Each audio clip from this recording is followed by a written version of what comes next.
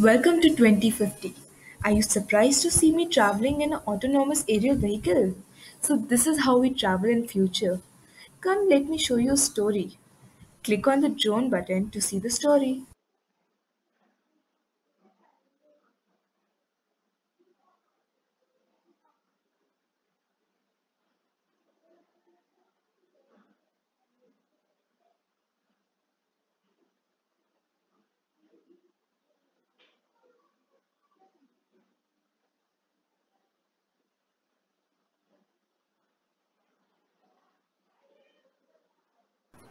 Go to the pink motorbike.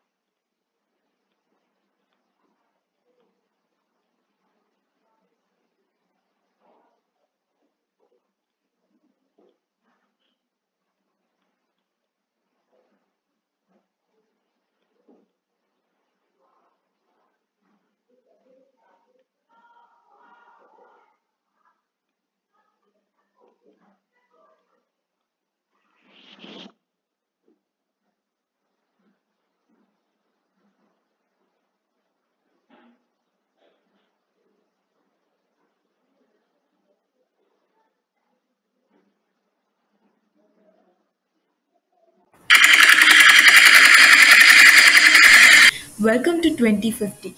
Are you surprised to see me traveling in an autonomous aerial vehicle? So this is how we travel in future. Come let me show you a story. Click on the drone button to see the story.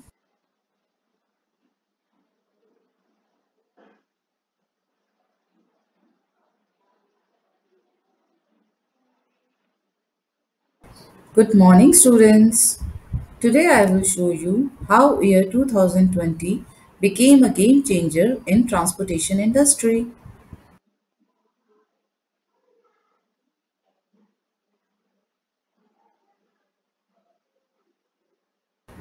After 2020, transport was revolutionized with radical new inventions powered by renewable energy in response to the twin concerns of pollution and congestion.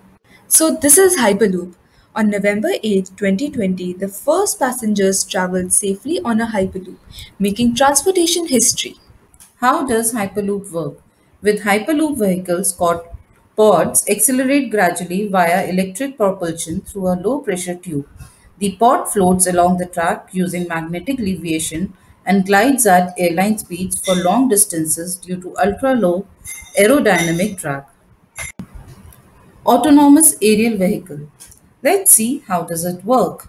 Electric Green Power EHang AAV uses electric power to reduce environmental harm caused by emission. The aircraft can be charged by 220 volt or 380 volt power supply in 1 hour at the fastest. The charging device can communicate in real time with the aircraft battery management system. Self-driving taxis are software-defined vehicles supported by electrified and intelligently connected architectures, which has combined power with the future of mobility. Wow, it's always interesting to know about our history. So, students, now let's do a worksheet and then we will go for a field trip on a Hyperloop.